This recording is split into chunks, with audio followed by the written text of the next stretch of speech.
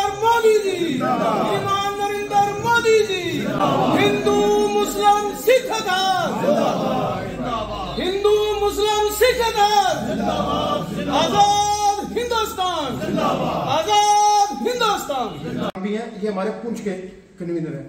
यहाँ के जो संयोजक हैं, वो संजय केसर जी हैं। वो शायद अभी आए नहीं, आ रहे तो यहाँ दोनों मंडल अध्यक्ष उपस्थित है, मिर्ज़ा साहब बड़े पुराने कार्यकर्ता हैं हमारे इस 44 मिनिस्टर चौवालीस जो जो है, हमारे राजीव जी का दौरा था, जो राजीव जी हमारे लोक प्रयास, प्रवास योजना के जो इंचार्ज है, वो पूरे डिस्ट्रिक्ट में मीटिंग ले रहे थे। कल आपने देखा कि बालाकोट के अंदर राजीव ने मीटिंग राजीव जी ने जो है मेंटर कंस्टिट्यूंसी की मीटिंग ली थी, और आज सुबह उन्होंने पूंछ हवेली की, और आज जो है, दो बजे के बाद सुरन कोर्ट में मीटिंग हुई है। इस मीटिंग का मकसद यही है कि ये एक प्रवास योजना है, जिस योजना में हमारे जितने भी, जो है, अहदेदारान थे, आज तमाम लोगों को बुलाया गया था।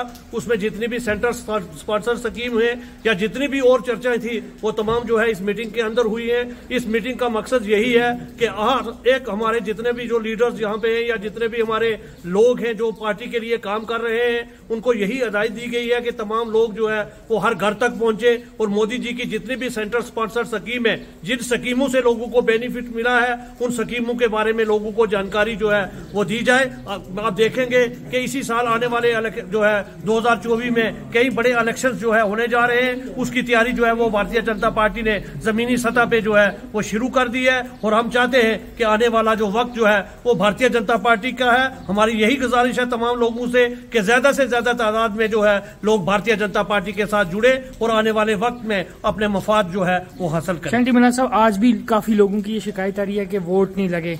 तो इस पे कोई काम करेंगे देखिए वोट का एक प्रोसीजर एक अलग प्रोसीजर है। उसके लिए जब नोटिफिकेशन हो जाती है उसमें ऑब्जेक्शन भी फाइल्स होते हैं। जो नए वोट बना जाते हैं ये जो हमारी योजना है इसमें हमने एक बीएलओ टू जो है हमने रखा है। बीएलओ टू का मतलब ये हुआ कि जिस भी पोलिंग बूथ के अंदर जिन लोगों के वोट नहीं एक हंगामी मीटिंग सुरन को डाक बंगला में रही गई थी। काफ़ी सीनियर ऑफिसर बाहर से भी आए थे।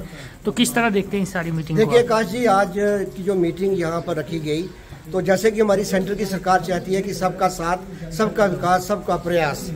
और उसी के तहत जो है, यहाँ पर जो अनंतनाग पुंछ जोरी की जो पार्लियामेंट्री सीट है, उसके इंचार्ज जो हैं, वो राजीव जी हैं। और राजीव जी इस डिस्ट्रिक्ट पुंछ के जो हैं, वो इंचार्ज हैं। तो उनके साथ साथ वीर सराफ जी भी आए थे। उनके साथ साथ जो हमारे नए जो हमने नॉमिनेट किए हैं प्रभारी कन्वीनर उसके साथ साथ मेंबर जितने भी थे वो सारी जितनी भी हमारी पार्टी थी वो यहाँ आज आई हुई थी। और उन सबको ब्रीफ करके बताएगा कि आपका क्या क्या काम है। जैसा कि सरकार चाहती है कि सबका विकास हो और जितनी भी योजनाएँ जो सरकार की तरफ़ से